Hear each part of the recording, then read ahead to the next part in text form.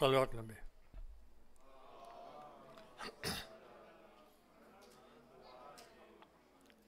غم کا چاند یہ پیغام لایا آ گیا ہے یہ ماہ محرم غم کا چاند یہ پیغام لایا آ گیا ہے ماہ محرم۔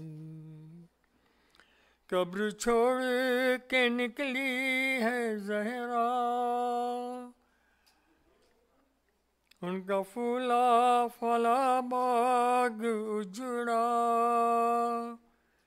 قبر چھوڑ کے نکلی ہے زہرا۔ ان کا فلا فلا ماگ اجڑا۔ دے دو ان کو بہتر کا پرسا۔ آ گیا ہے ماہ محرم۔ غم کا چاند یہ پیغام لایا۔ آ گیا ہے ماہ محرم۔ لحد میں ہے روتی سکینہ؟ کیوں لحد میں ہے روتی سکینہ؟ جا کے بہلا وہ شاہ مدینہ۔ یتیمی کا ان کا یہ مہینہ؟ آ گیا ہے ماہ محرم۔ آج قبر میں روٹی ہے لیلا۔ گم جواں کا ہوا دل میں تازہ۔ آج قبر میں روٹی ہے لیلا۔ گم جواں کا ہوا دل میں تازہ۔ باندھا بیٹے کے سر پہ نہ سہرا آ گیا ہے ماہ محرم۔ غم کا چاند یہ پیغام لایا آ گیا ہے ماہ محرم۔ رو رو کہتی ہے بانو یہ دکھیا۔ کھو گیا من میں بے شیر بیٹا۔ رو رو کے کہتی ہے، بانو یہ دکھیا۔ کھو گیا من میں بے شیر بیٹا۔ قبر میں جھلاؤں گی جھولا۔ آ گیا ہے، اے مائے محرم۔ قبر میں روتی ہے بنتے زہرا۔ لٹ گئی کر بلا میں میں دکھیا۔ بنی قیدی فری سر برہنا۔ آ گیا ہے ماہ محرم۔ غم کا چاند یہ پیغام لایا۔ آ گیا ہے ماہ محرم۔ سلام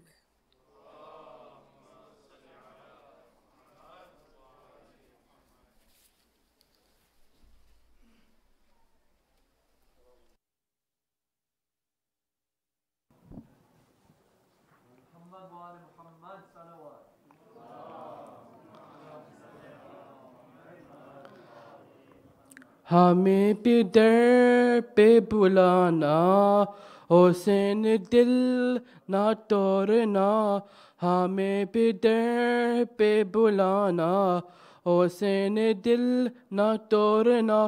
اے کے ہیں مولا، اے گناہ رہے، اے ہم منگ کر ایسا، چھے تمہارے تو سوگوار اے ہم خطا ایسا، رے بلانا، حسین دل نہ توڑنا دعائیں تم سے کل جائے، جلد اپنا نے نصیب، کس رٹار سے سے پوچھو، جائے ہم، اے تم تمہاری قریب دعاؤں میں ملانا۔ حسین دل نہ توڑنا، فقط عرض دل میں میں کہ جو ہے، پھر ہے پہ ایت جانی پہ۔ اپنے ڈر ڈر پر، اے خواب پر سا کرنا۔ حسین دل نہ توڑنا، ہمیں پہ ڈر پہ بلانا، اوسین دل نہ توڑنا، ہمیں بھی در پہ بلانا، اوسین دل نہ توڑنا۔ سلوات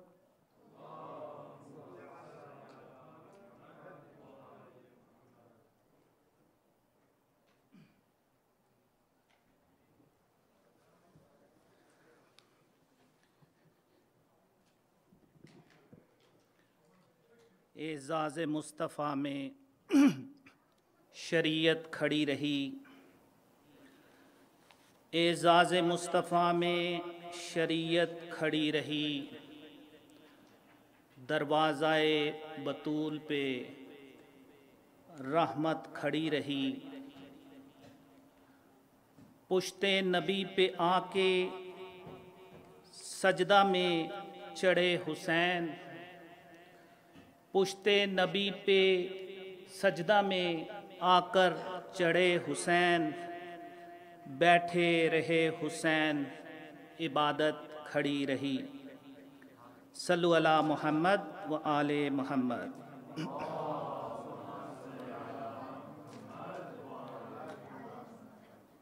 ذکر غمیں حسین سے محفل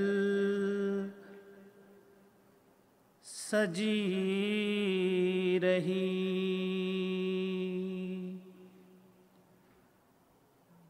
ذکر غم حسین سے محفل سجی رہی۔ گل ہو گیا چراغ مگر رو روشنی رہی۔ گل ہو گیا چراغ مگر روشنی رہی۔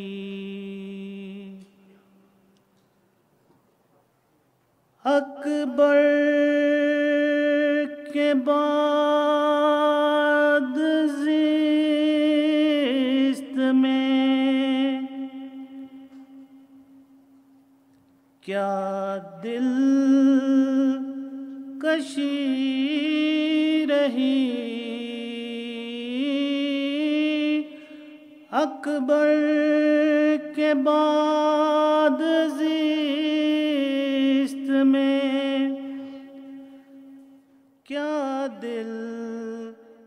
کشی رہی۔ لیلا تمام عمر یہی سوچتی۔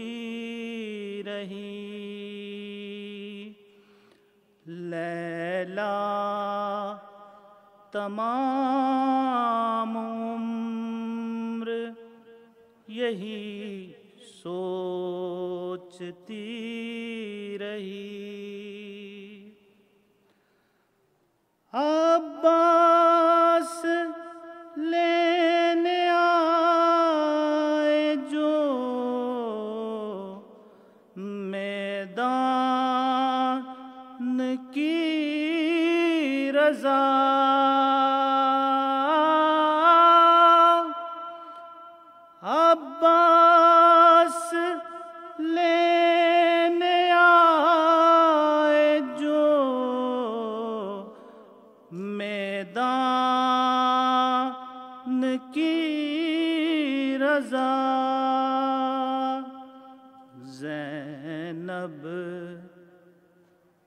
بسپ نے بازوں کو دیکھتی رہی۔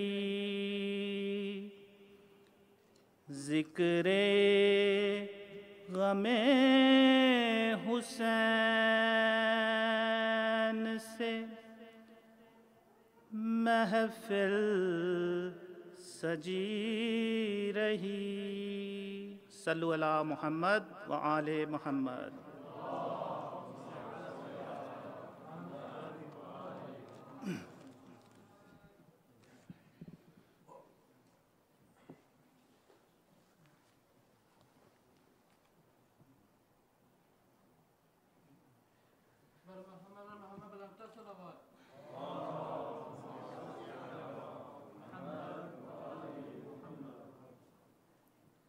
السلام علیکم۔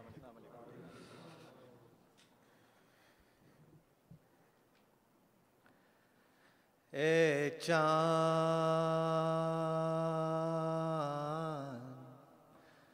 کربلا کے تو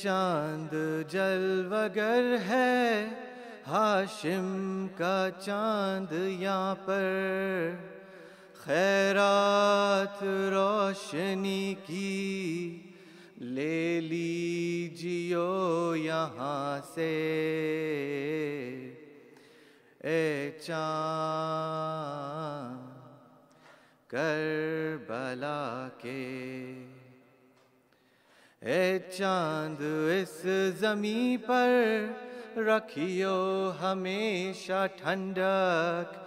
سوتے جو ہے یہاں پر زہرا کے ہے یہ پیارے۔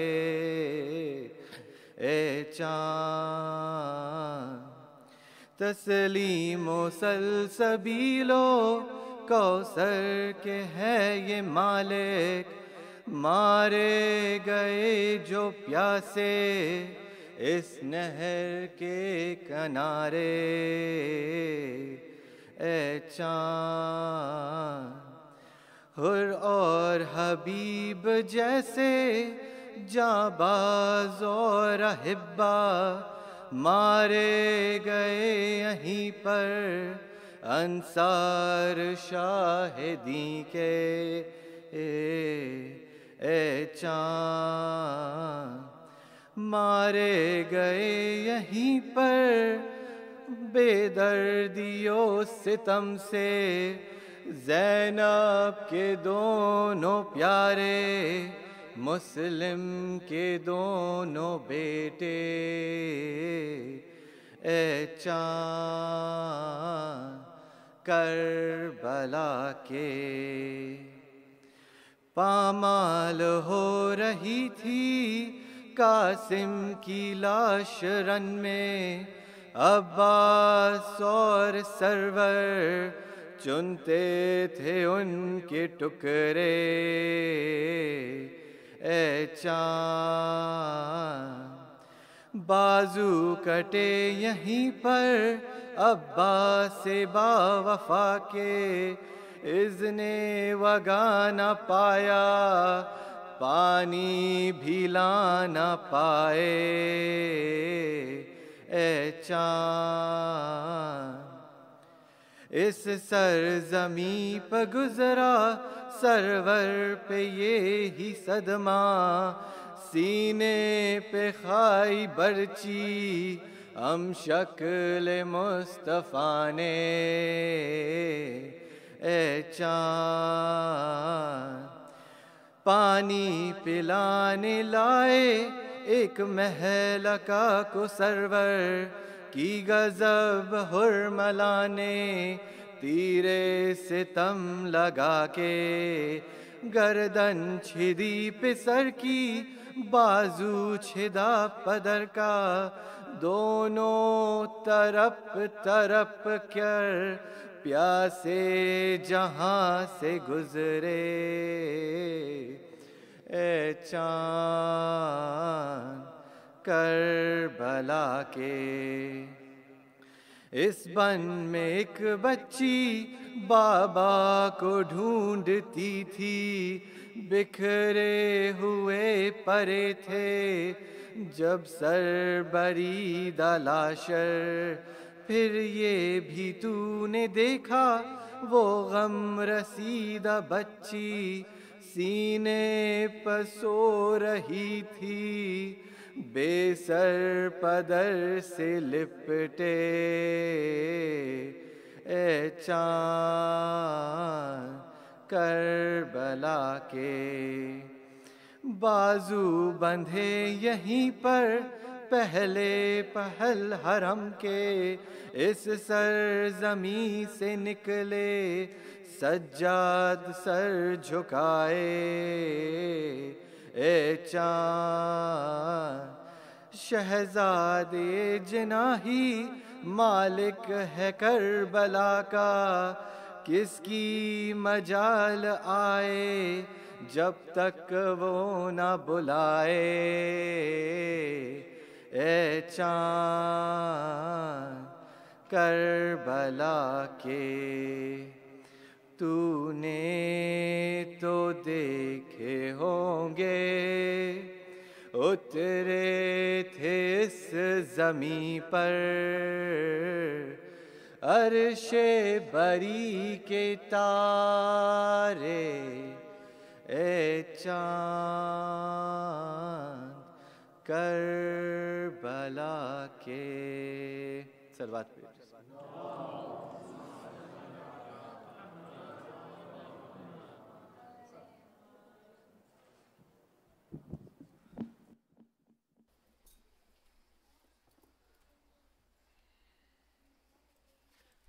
Brothers and sisters, Assalamu alaikum. If I may remind you to please move forward so we can make room for the people who are coming slightly late. And just a couple of quick announcements. One is the Muharram Fund. The Muharram Fund is open. Uh, please donate generously to ensure that your name is written down on the book so that on the day of Mahshar, you know that you are called, inshallah, to support the Majalis of Imam Hussein. We have heard a lot since yesterday and the earlier uh, lecture as well by Sister Barak about the significance of, of this Majalis. And let's let you be the one who is enabling that Majlis by your contribution. Tomorrow, inshallah, uh, there's going to be a poetry program after uh, the Salah. So we encourage children, especially, to sign up for the, for the poetry. We have, uh, you know, a few people, but would be nice to have a little bit more. This is the time to shine, and the poetry can be done in English, Urdu, Swahili, Gujarati, you name it. Uh, French would work as well, although I may not understand, but it's okay. We can we can have it there. And I know we have heard yesterday from a couple of people. Uh, I know parents come with children, and children do make noise. Uh, but I have read somewhere that the sign of a healthy mosque is when you see, and you know, children running around or making a little bit of noise. This is going to be our generation. We can stop them from not making noise and it will discourage the parents. They will stop coming. You know, 15 years from today, we will be complaining, how come there nobody comes to the masjid? So let's be patient with the children. Let them explore whatever it is that we have to do and let them enjoy coming to the, to the masjid. With that, uh, what you call, join me in inviting Sheikh for, with three loud salawat.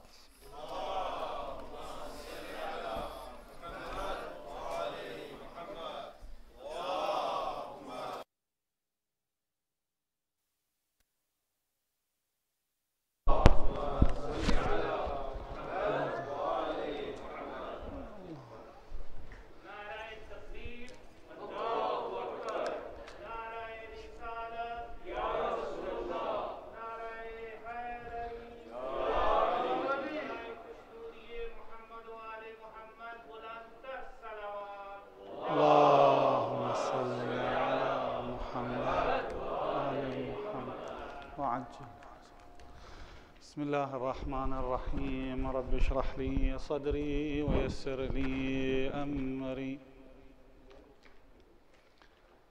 واحلل عقدة من لساني يفقه قولي.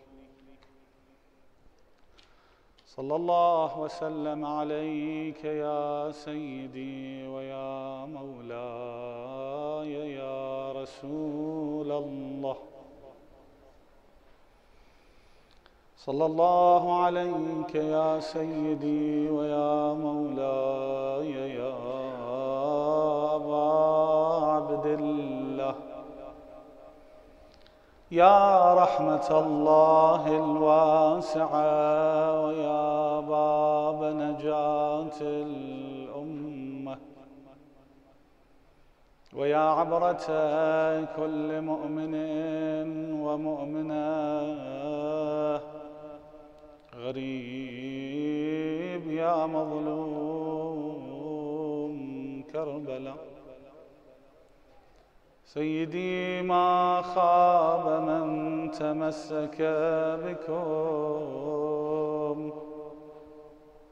أمن من التجا إلى حصنكم يا ليتنا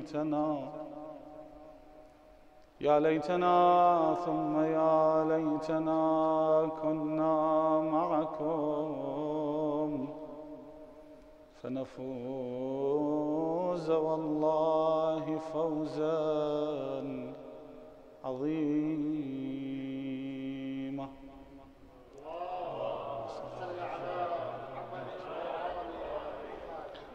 وجه الصباح علي ليل مظلم. وربيع أيامي علي محرم. والليل يشهد لي بأني ساهر انطاب للناس الرقاد فهوموا The light of day is dark as night. The joys of life from me depart. The night bears witness that I have not slept.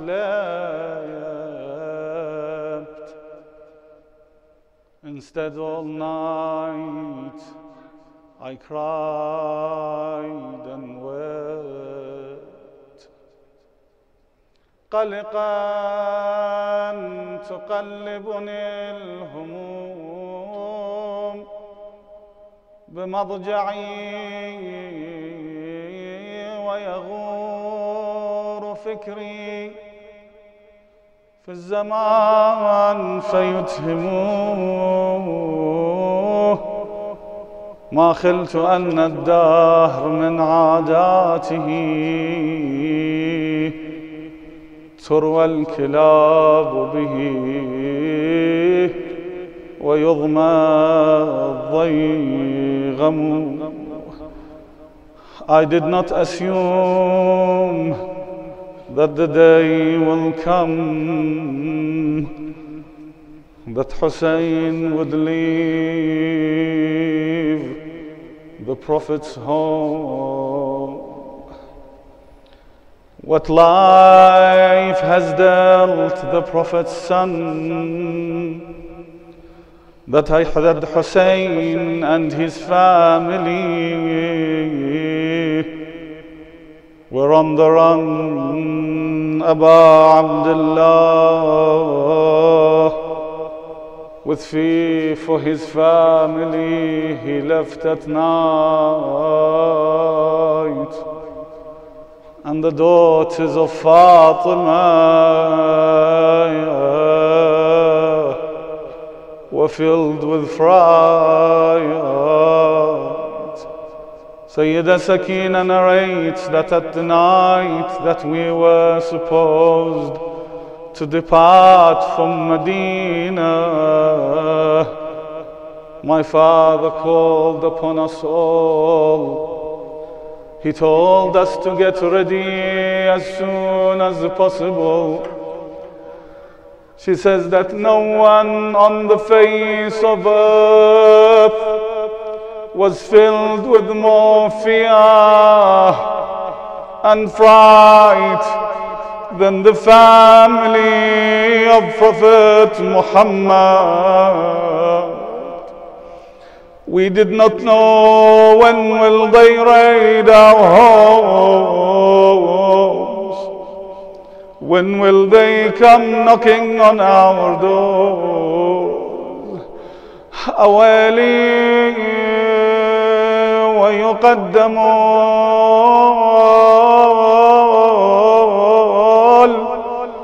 الأموي وهو مؤخر ويؤخر العلوي وهو مقدم.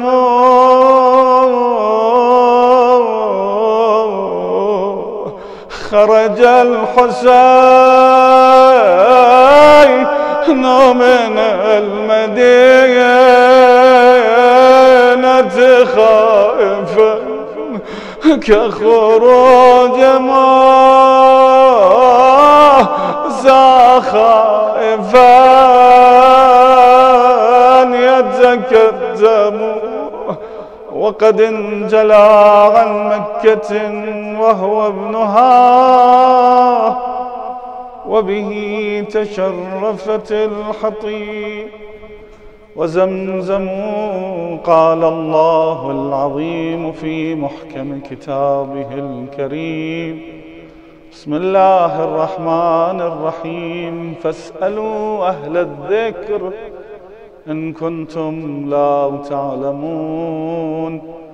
صدق الله العلي العظيم. عطروا مجالسكم بذكر محمد وآل محمد. اللهم صل على محمد وآل محمد. زينوها بالثانية. اللهم صل على محمد وآل محمد. نوروها بالثالث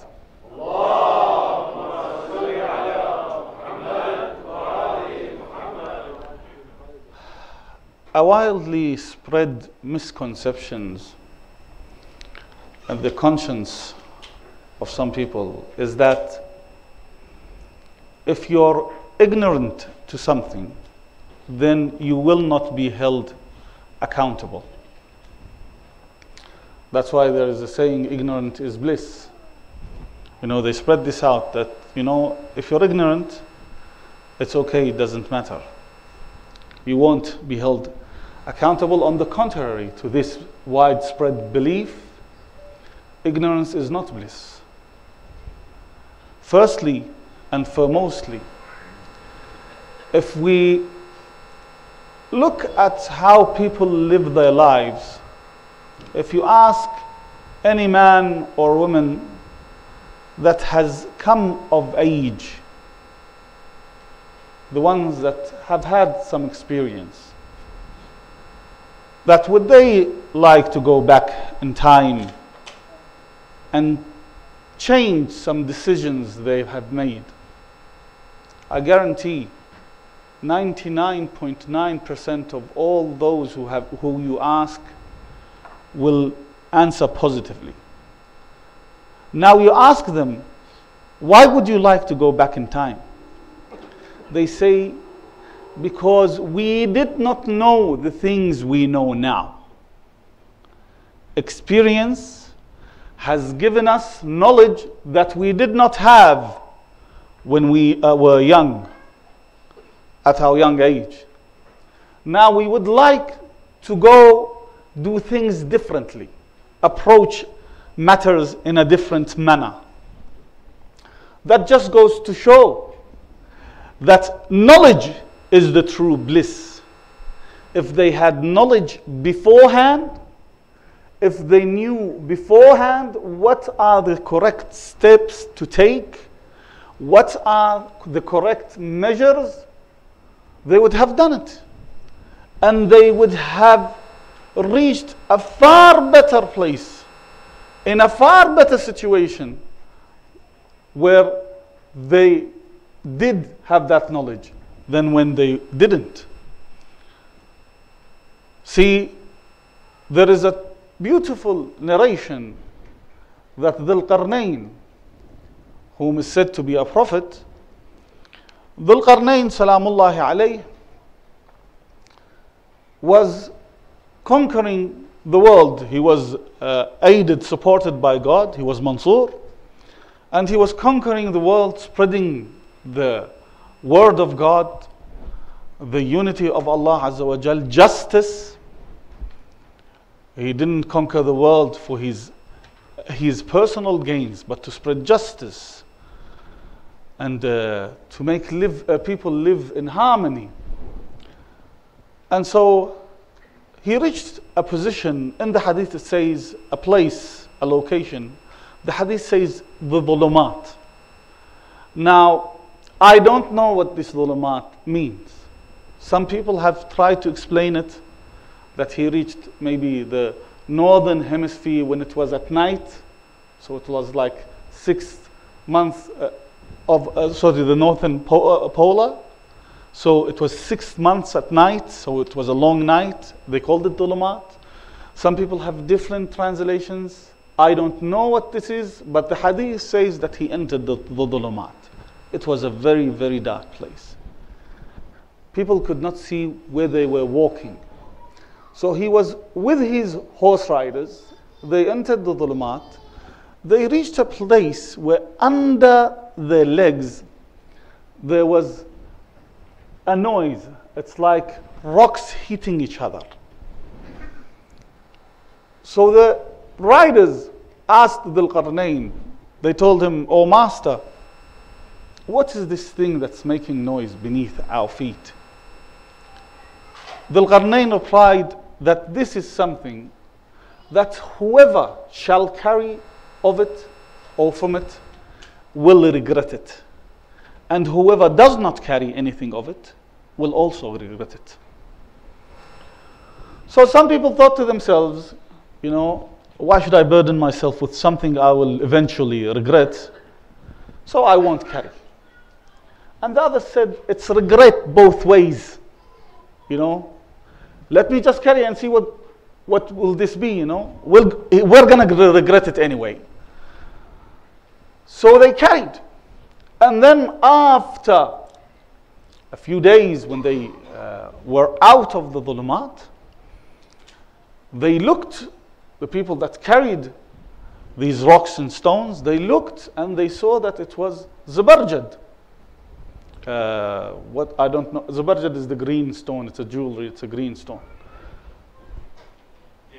Jade, yes. So it was jade. And uh, those who didn't carry regretted that they didn't carry anything. And those that did regretted not carrying more. You know, so it was regret both ways. But the moral of the story is knowing is far better than not knowing. And the true knowledge, the true meaning of ilm, is that which will give you eternal benefit. See, some people read the biographies of those who became rich. You know, he was a nobody, but suddenly he became rich, and his bio- autobiography became something special. I can guarantee he didn't know he was going to be rich, you know. The rich men of this world, no one guaranteed himself wealth. It's just that this is what God had written for them. And the proof is all these autobiographies read and all these life experiences that you gain from them, if you try to repeat it, you are, you are not guaranteed to become wealthy. Take every step, step they took. It's not a guarantee. It's just that the aqdar, the fate, was written in a way that these steps this individual takes will lead him to wealth. A hundred or a million other individuals are taking the same steps around the world. And they are where they started from. The difference with this worldly knowledge and the knowledge of Ahlul Bayt salamullah alayhi is that if you walk in the steps of Ahlul Bayt salamullah alayhim, if you take their lead and their example, you are guaranteed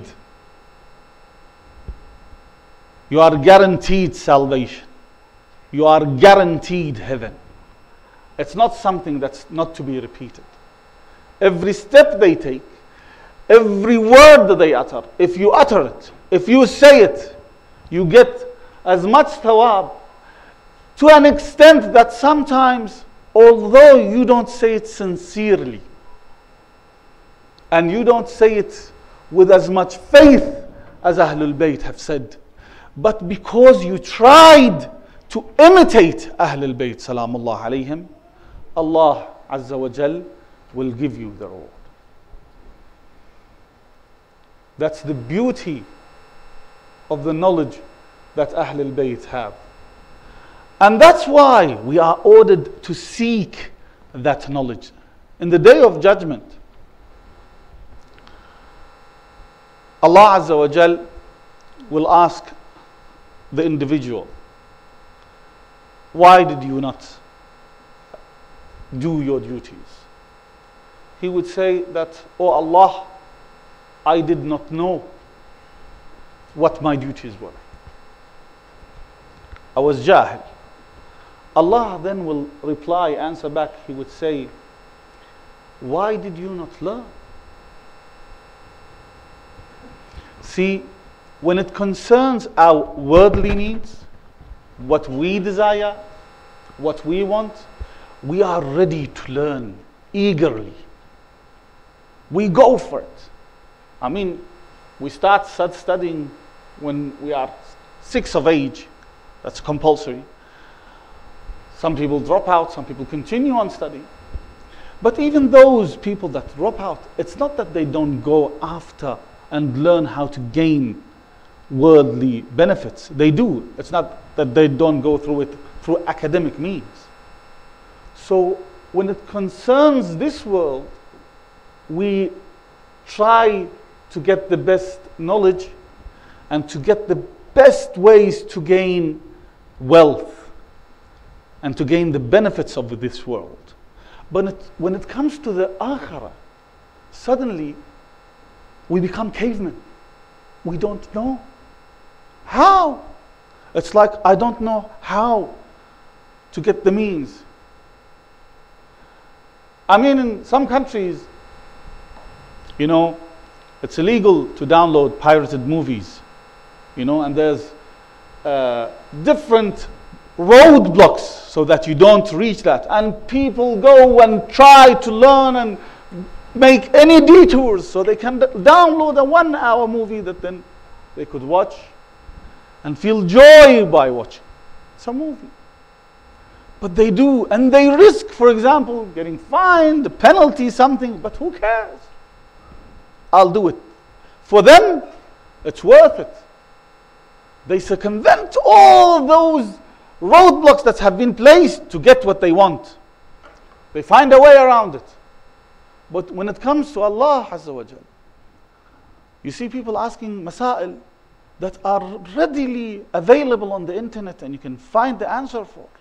But suddenly he becomes a six year old. He doesn't know how to type on his keyboard. And then he goes and he performs the haram act. And then when you ask him why, he goes, I didn't know. You know, I'm not to blame. I'm a simple man. It's funny, but yet it's also sorrowful. That this is how much concern and worth we give to our eternal life. You know, it's like it's in the back seat of our priorities. These majalis, the majalis of Imam Hussein, are a wake up call for us. Imam Hussein was the biggest wake up call. Karbala's Imam Hussein uprising was against this way of ignorance, of people trying, of people comfortable with having a Khalifa, a king, a ruler like Yazid, because then they will have an excuse to be ignorant because their leader is more ignorant than them. So, you know, they are in a much better position. They, we have an Arabic proverb that says, A'war al Amyan Basha. A uh, one eyed man in a blind community is a master.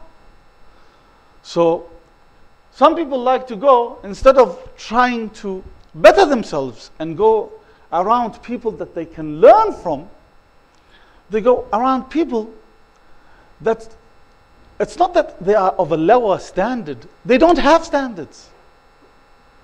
They're a lost cause to feel better. That I know, you know, mom, what are you talking about? If you see my friends, they're much worse than me.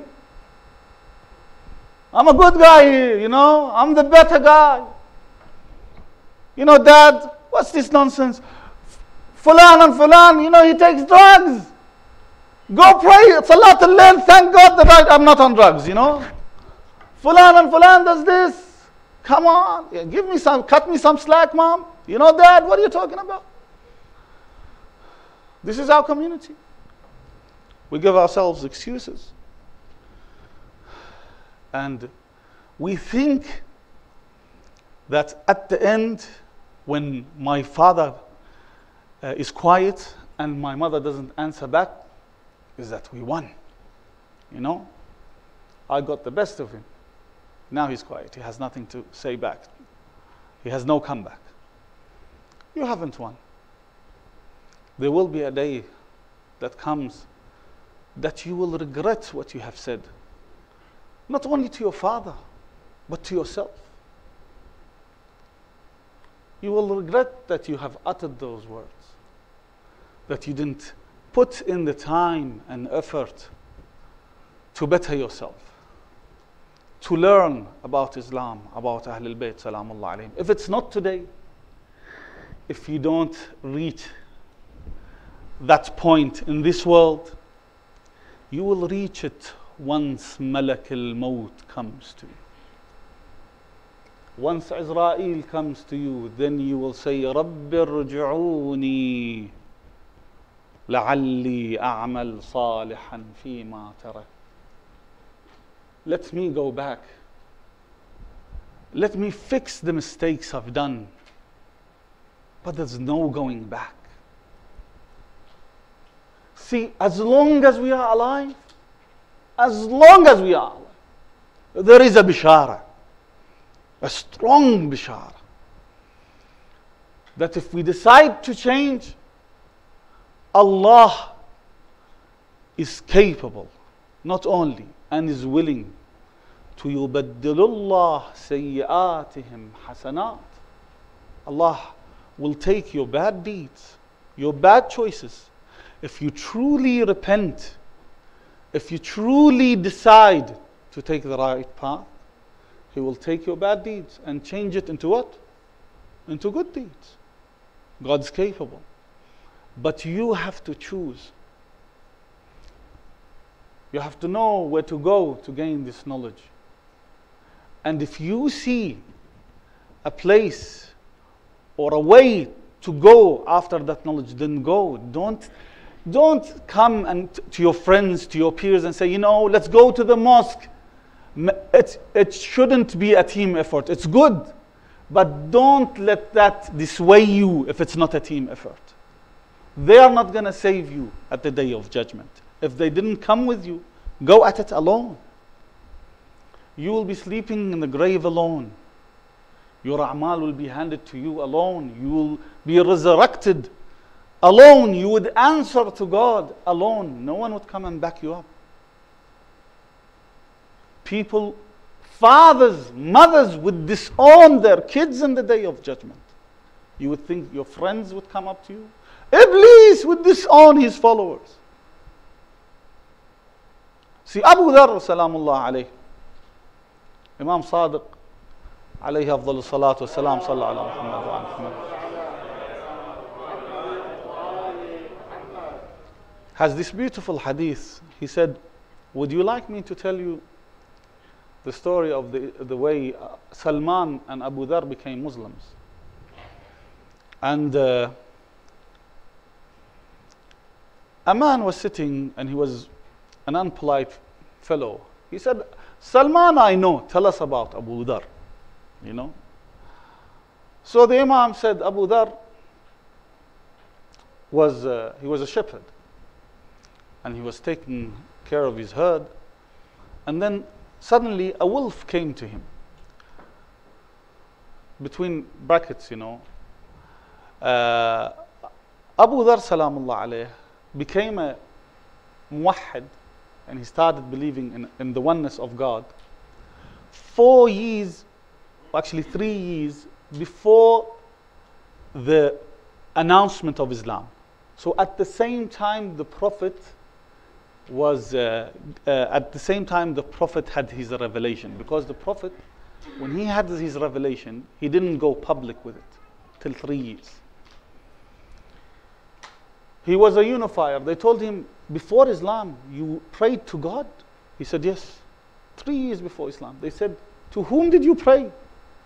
I mean, if it wasn't for Islam, we wouldn't know God. He said, I prayed for the God of the skies, you know, for the God that I know is above. Now, not physically, but he knew in the sense of his status. So he said, I prayed to this God, not to the idols we worship. So Abu Dhar, he was taking care of his herd. A wolf came from, uh, from afar, from the right side of the herd. And if you've seen farms, you know, the herd sometimes spreads out. So he ran, he shooed it away.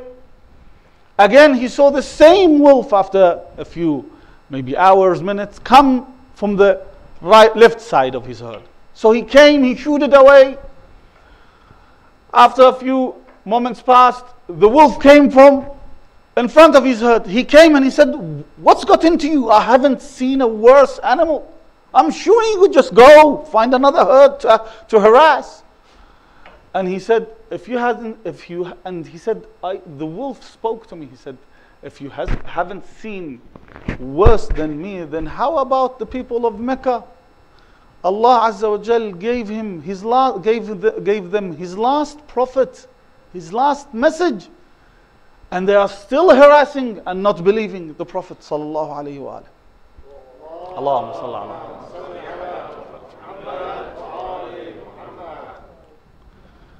So he thought, Abu Dhar thought to himself, what prophet? And he went and he asked his sister, he said, you know, get me my food ready, I, I want to go on a journey. And he got, he prepared for the journey and he went towards Mecca. He was living in Ghifar. So he went to Mecca. When he entered Mecca, see, this is a man that wants what? Knowledge. He seeks knowledge. If it was someone else, he would say, you know, to hell with, the, with whatever is happening in Mecca. I'm living my life. I have my herd. Who cares what's happening in Mecca? Let Mecca, let Mecca, you know, solve and take care of their own problems. So he went to Mecca. And when he entered Mecca, he entered the Masjid al-Haram. He went near the Kaaba. And the mushrikeen were there speaking badly about the Prophet, insulting the Prophet, backbiting the Prophet. And he sat down. He was afraid to tell anyone what he came for because he was he knew it was like a, it's something that wasn't like good in the eyes of the Meccans. So then he suddenly saw these people that were talking and insulting the Prophet say, Be quiet, his uncle came. You know, stop talking. And so they all became quiet, and he said, I saw a man, a very honorable man, come inside Masjid al Haram, and uh, they were all quiet. And when he sat down with them, he was their official speaker. It's like they gave him the microphone, you know. Why? Because he was the knowledgeable one. You know, these were the guys that would sit and talk about, you know, every different subject that had no matter. But when Abu Talib came, he gave him true ilm, true knowledge. He gave him wisdom because Abu Talib had and was the inheritor of the wisdom of Abraham. على عليه وعلى نبينا وآله أفضل الصلاة والسلام. So he said he spoke, they were all quiet, and then he came to leave. When he s- went a bit far from these bunch of, let's say, miscreants, I ran to him and I said, uh, I came asking about the prophet that was sent. So Abu Talib said, For what reason? Why do you want to know where he is? And asked, What do you want to know about him? He said, I want to pay allegiance. I want to believe in him. I want to give him my uh, respect and tell him that whatever he says, I will listen to him. So Abu Talib said, Are you ready to say, Ashhadu an la ilaha illallah wa ashhadu anna Muhammadan Rasulullah? Sallallahu ala Muhammad Allahumma salli ala Muhammad alihi wa Abu Dhar said, Ashhadu an la ilaha illallah. I'm ready. I Allah say it. Ashhadu an la ilaha illallah. Wa ashhadu anna Muhammadan Rasulullah. I don't mind. So he repeated. Abu Talib said, okay, if it's if you are sure, come tomorrow same time. Same place, same time. He went and again the next day Abu Dhar came and he saw the people. Again, they had nothing to talk about, you know. So they tried, it's like, you know, wom- women's gossiping. They tried to find a subject to talk about. So they needed something to talk about, talk about. So they started again, you know, talking about the Prophet. What's this, Muhammad? What's this? What's that? It's like, you know, we may, we may laugh, but we are the same. After a game is done, whether it's soccer, basketball, we sit for hours. Why did he drop the ball? Why did he uh, kick a bad corner? Why didn't the goalkeeper, you know, block it? And we start speaking hours about this.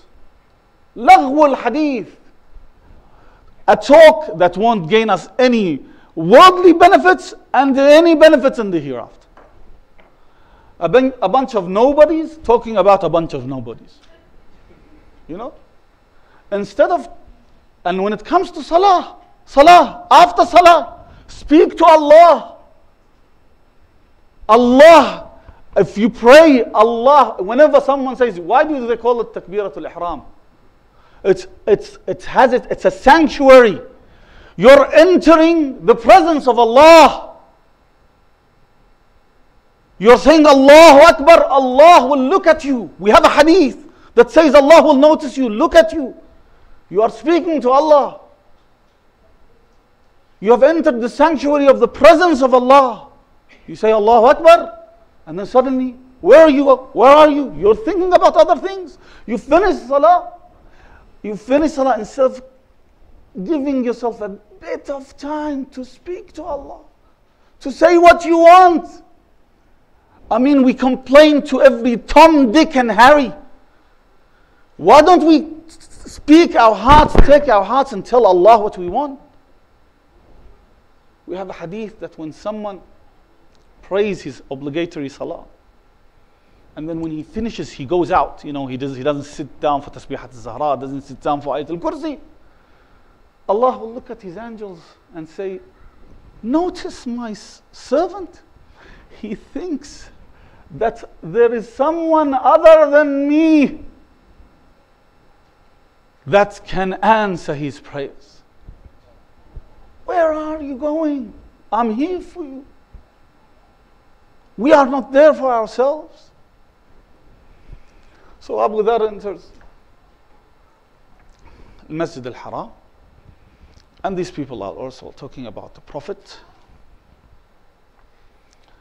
And he waits. Again, they say, Be quiet. Abu Talib is coming. Abu Talib comes. Salamullahi alayh. And uh, they sit down. Abu Talib becomes the official speaker again.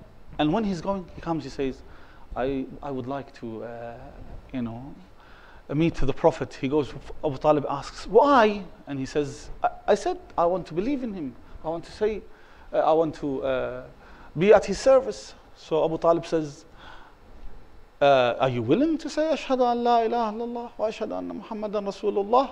Sallallahu ala Muhammad wa ala Muhammad. Allahumma salli ala Muhammad wa ala Muhammad wa ala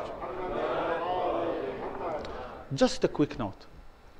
Uh, the Prophet says, I'm not saying you, always, you should always recite the salawat in a loud voice, which is also very recommended. But mentioning the Prophet even without name.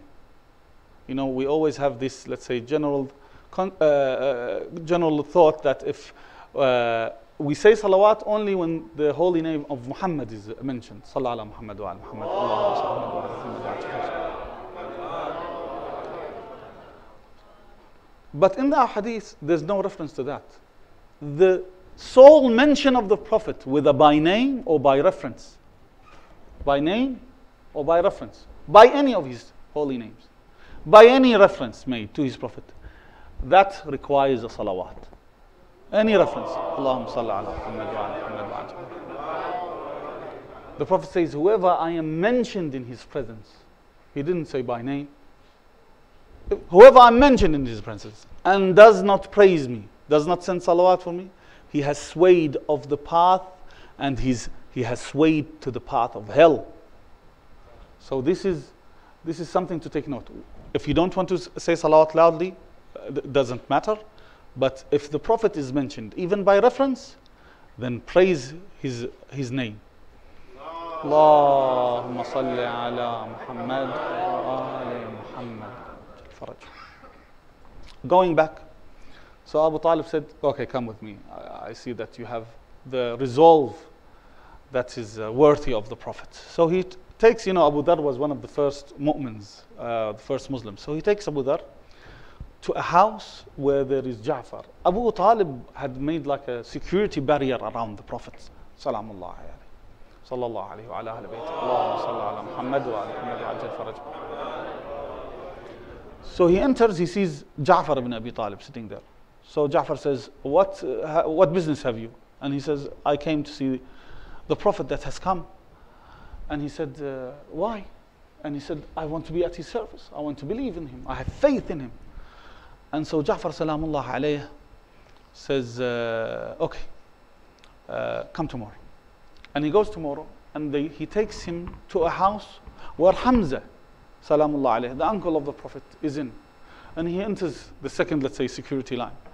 And again, Hamza questions him, and again he answers, and then he takes him to another house. Wa Amir al Mu'mineen Ali ibn Abi Talib, salamullah alayhi, is present.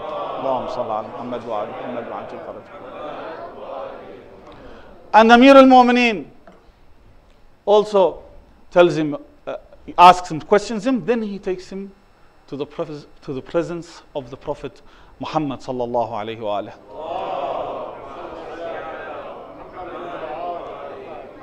There, Abu Dhar pays his allegiance.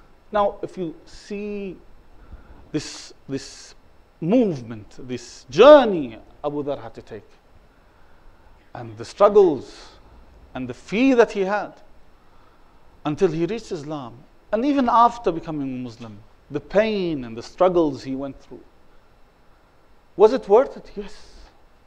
For Abu Dhar, it was worth it.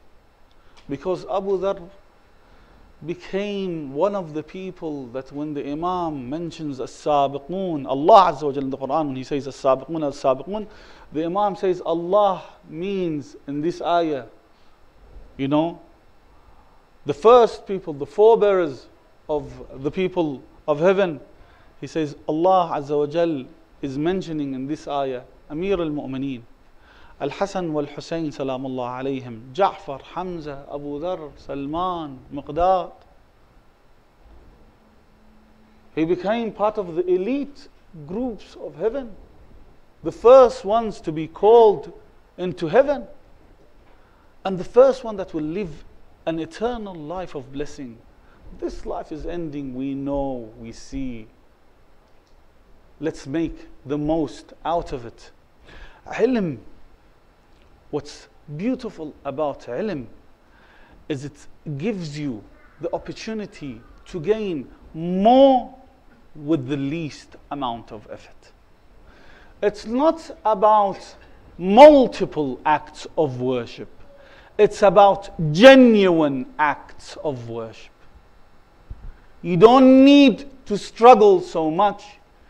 You just have to have a sincere heart and know what you must do when you must do it. You know, the, the time and place to do, to, uh, the time of, and place for each obligation. It's like someone, you know, fasting for 30 days but not in Shahr Ramadan. Would that do him any good? If he leaves out Shahr Ramadan, no, it won't do him any good. It's knowing these key moments. نوم العالم خير من Sehar الجاهل. An alim sleeps. He's, he's, when he sleeps, his ibadah, his ibadah is more than that of a worshipper that's, uh, that's awake at night praying for Allah. Why? Because the alim, when he sleeps, firstly, his faith in Allah, his praise to Allah, the faith he carries in his heart, is more than that worshipper that does not carry this faith. And the alim, and one, uh, uh, the one that knows, like Salman al Muhammadi. Salman, the Prophet asks the Mu'mins and the people that, present, uh, that were present, he said, Who of you stays up all night, every night, worshipping Allah? Salman said, Me. I'm the one here.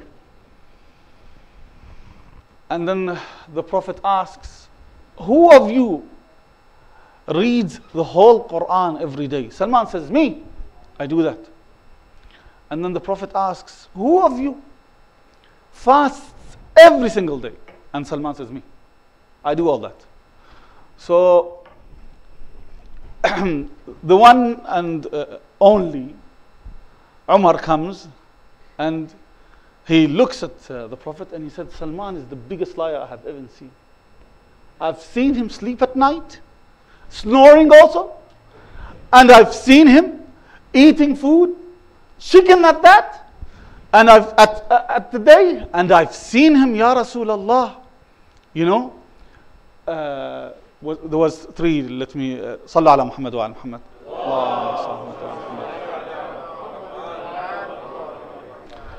And I've seen him in a, a day not reading the Quran. So what's he doing about? You know, he's just sucking up, Ya Rasulullah. Don't think he's better than me. I know I don't do that, but you know, we're at the same boat. So Rasulullah said, Salma, I know you know. Tell this guy. So Salman said, Oh, Ya Rasulullah, I've heard you say whoever reads Qul Allahu Ahad three times is as if he's read the whole Quran. I've made it a policy Every day when I wake up, I read Qul Wallahu Ahad three times. Now, I want to ask you, how hard is reading Qul Wallahu Ahad three times every day?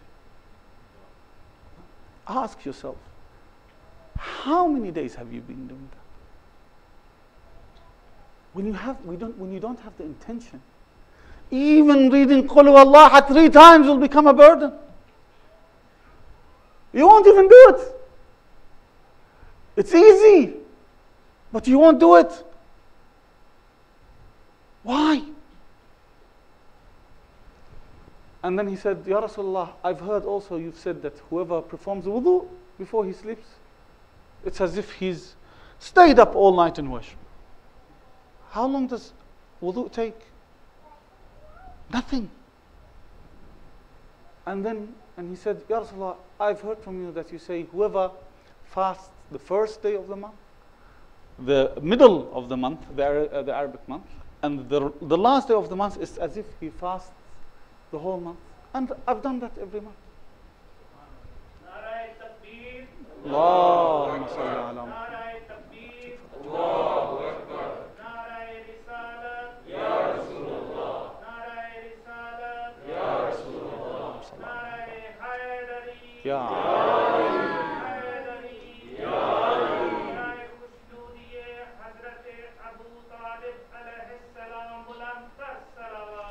اللهم صل على the shortcuts to heaven. When you have knowledge, you can understand and know where the shortcuts to heaven lie. And the biggest shortcut to heaven is Majalis al Hussein, Salamullah. Imam Sadiq says, Whoever remembers Hussein, Salamullah, and remembers what Imam Hussein faced, his tragedies, and he cried, and as much as a wing of a fly, how much is the span of a wing of a fly? Tears came out of his heart. Allah will let him live in heaven for centuries. Ahqaba one single drop of tear on Imam Hussein. تطفئ بحارا من النيران. See hell is like the fire of hell is like molten lava. It's like a sea of lava. Imam says one single tear on Imam Hussein will take will take out seas of the fire of hell. The fire of hell is in such a way so burning that when hell when hell's fumes go out in the mahshar there's a hadith that says that hell will have its fumes spread out in mahshar the fumes only it would be so frightening that even prophet ibrahim salamullah alayh will cry oh lord i am your khalil your companion do not forget me that's the kind of fear the fumes of hell will instill in the people of Mahshar. One drop of tear on Imam Hussein Salamullah alayh will take all that down. Salamullah al Hussein. This is the day we remembered when Imam Hussein was forced out of Medina. He was threatened with death. He came to the Prophet's grave to bid his farewell to his dear grandfather. The hadith goes like this Imam Hussein, when he puts his eyes on the grave of the Prophet, he just kept weeping and crying. And then he threw himself on the grave. At that time, the grave wasn't built, there was no darih. It was just a humble grave, so he threw himself on the grave of the Prophet. And then, from the amount of tears and crying, he had a small nap. And in his sleep, he saw the Prophet sallallahu alaihi wa Allahumma salli ala Muhammad wa ala Muhammad. Descending unto Hussein, he came to Imam Hussein, his uncle Ja'far, his father Amir al-Mu'mineen, his brother Hassan, his uncle Hamza. They all came and when the Prophet saw Imam Hussein, he ran to him and he hugged him. Said, Habibi ya Hussein, Nur Aini ya Hussein. What have you come for, my dear grandson? What do you hold in your heart? Imam Hussein said, Ya Jaddah, لا حاجة لي في هذه الدنيا Oh grandfather, I don't want to stay in this world anymore. Take me with you, let me be your companion. أوالي ضمني عندك يا جداه في هذا الضريح علني يا جد من بل وزماني استريح يا رسول الله let me come with you I don't want to wake up from this from this dream let me be with you رسول الله said حبيبي حسين نور عيني حسين the land of Karbala there awaits you your destiny حبيبي حسين let me tell you what will happen يا حسين كأني بك على رمال Karbala I can see you on the burning sands of Karbala asking for water أيوة عطشان أيوة السيدة فلا تسقى They won't provide you with water What will they do? Hussein They will answer your call With the spears and swords and stones أوالي Abba Abdullah. He woke up from his nap. He hurried to his family. Oh, my family, get ready. We are all going to Karbala to where our destiny lies. All the family started getting ready.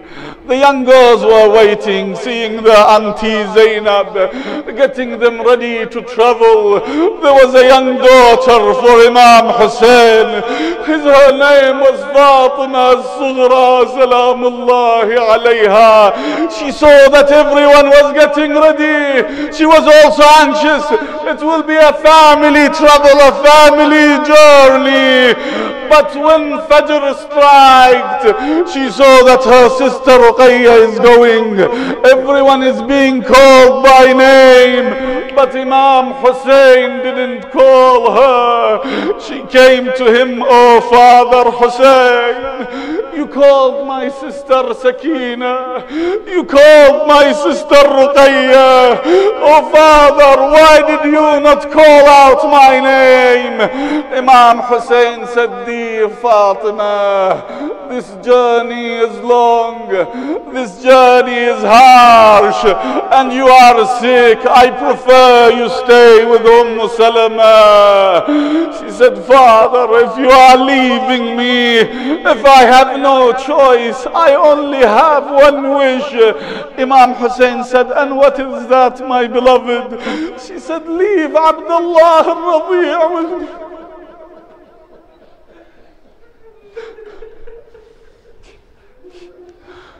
Let him console me in your absence, O Father Hussein.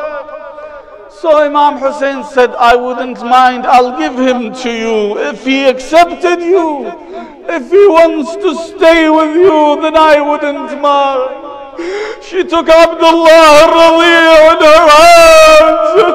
And Abdullah started crying and pointing to his father. It's as if he's saying, sister, take me back. I also have a destiny in Karbala. I will be the last soldier of Imam Hussein.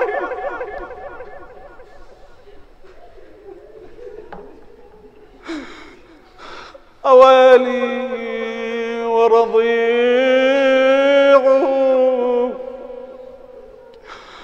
بدم الوريد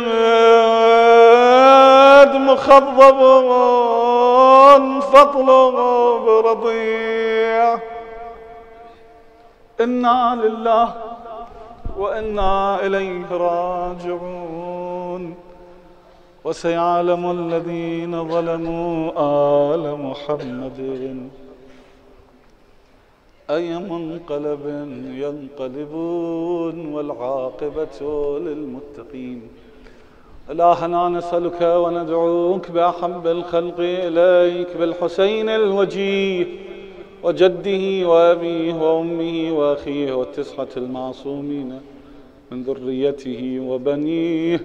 عجل اللهم fridge وليك يا الله يا الله يا الله يا الله يا الله يا الله يا الله يا الله يا الله يا الله. اجعل فرجنا مع فرجه واجعلنا من أنصاره وأعوانه ومن المستشهدين بين يديه. اللهم به تقبل أعمالنا اللهم به يسر أمورنا. اللهم به استجب دعواتنا. اللهم به اقضي حوائجنا. اللهم به يشفي مرضانا. سيما المرضى المنظورين. اللهم به زد في أرزاقنا. ويريد زيارة القثر السلام على الحسين. وعلى علي بن الحسين وعلى أولاد الحسين وعلى أصحاب الحسين وعلى أخيه أبي الفضل العباس ورحمة الله وبركاته. إلى أرواح المؤمنين والمؤمنات. وأرواح موتاكم نهدي للجميع ثواب الفاتحة. تسبقها الصلوات.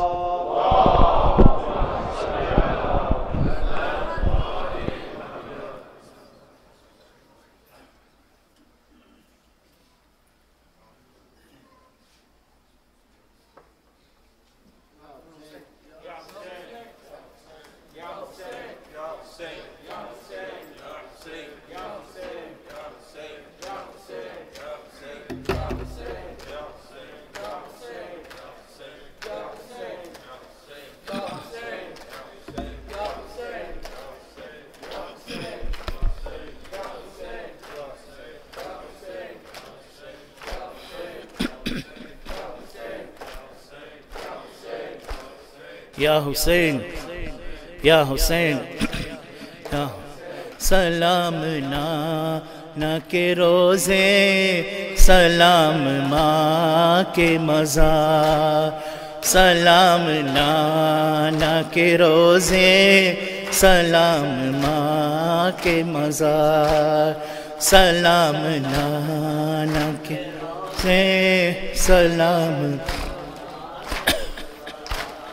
چلا میں آدھا نبھانے، چلا میں وعدہ نبھانے، سلام ماں کے مزار، سلام نانا کے روزے، سلام کے مزار، سلام نانا کے، سلام نانا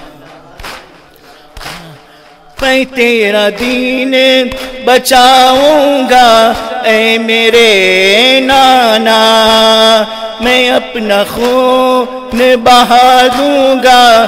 اے میرے نانا، حسین جاتا ہے مرنے۔ حسین جاتا ہے مرنے۔ سلام ماں کے مزار، سلام نانا کے سلام۔ مزہ۔ سلام نانا کے روز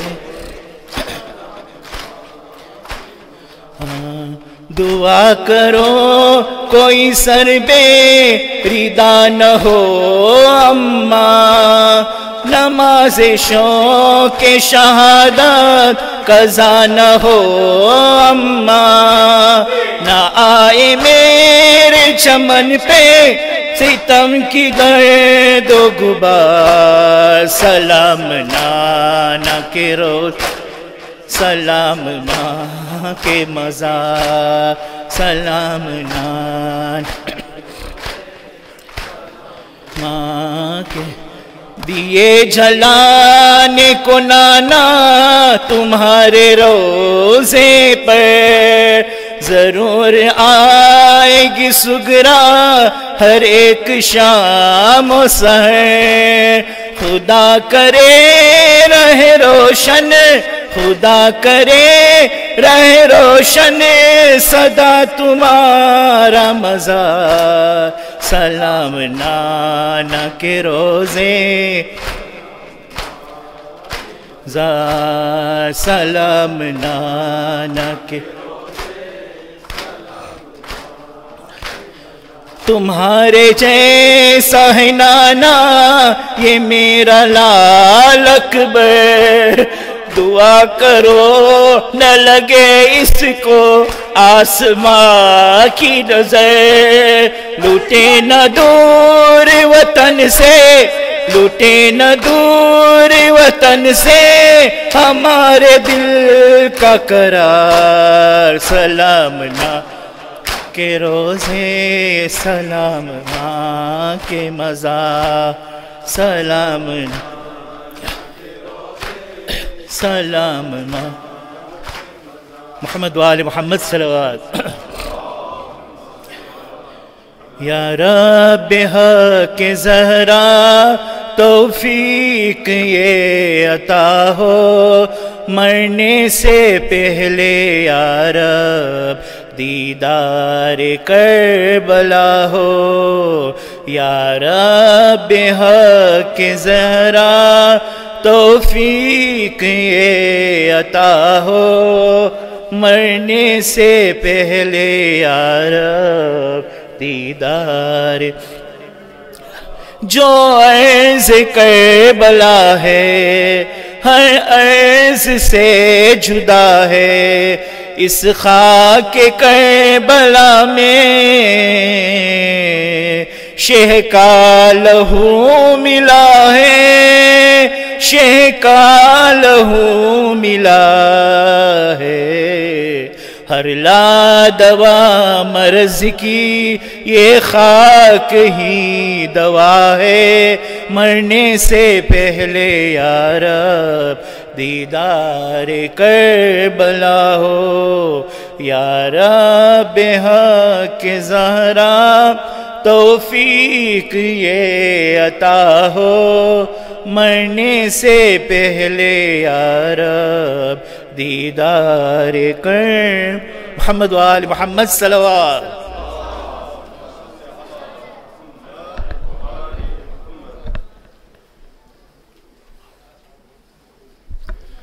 أعوذ بالله من الشيطان الرجيم. إن الله وملائكته يصلون على النبي.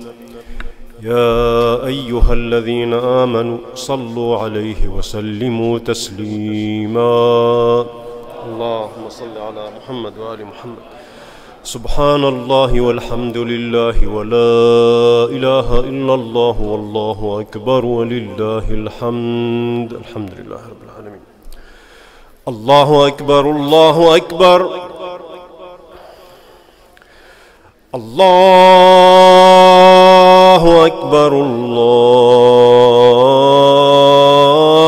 أكبر.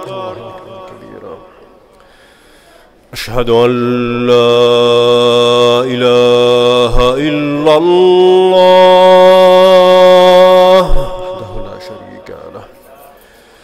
أشهد أن لا إله إلا الله وحده لا شريك له. أشهد أن محمدا رسول الله.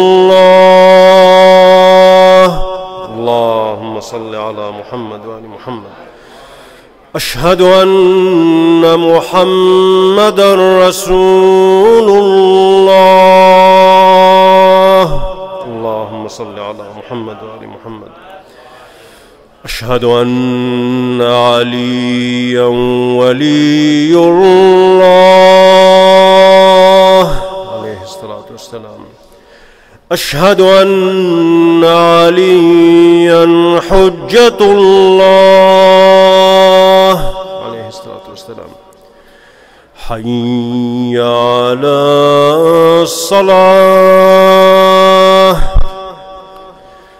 حي على الصلاة.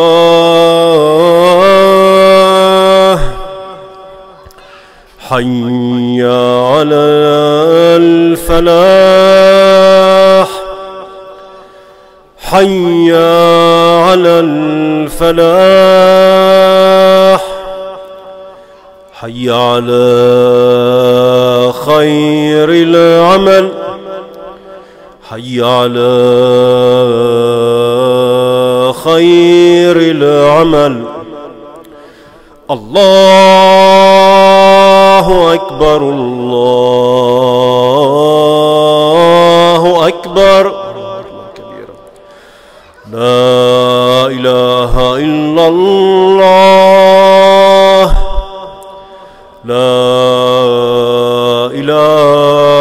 إلا الله. وصل يا رب على محمد وآله الطيبين الطاهرين.